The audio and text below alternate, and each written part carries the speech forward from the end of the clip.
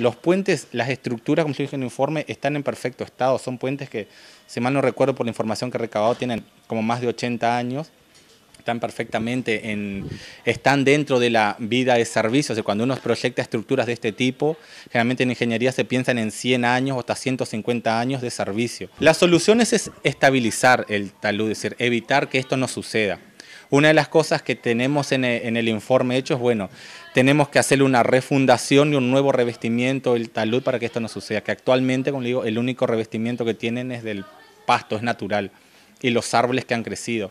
Que hoy, em, hoy en día estos arbustos nos están ayudando porque las raíces están estabilizando, es decir, sosteniendo que parte de esa tierra no se vayan pero como vemos ya empezó a ser insuficiente, más con las lluvias que tenemos. El tránsito puede continuar circulando con eh, con normalidad. Igual nosotros remarcamos, digamos, lo que vamos a hacer es vamos ahora a disminuir la cansada para que no vayan justamente por esa calle, porque esa parte, si no, uno lo que hace es ampliar el fenómeno, hasta que empecemos a hacer la solución.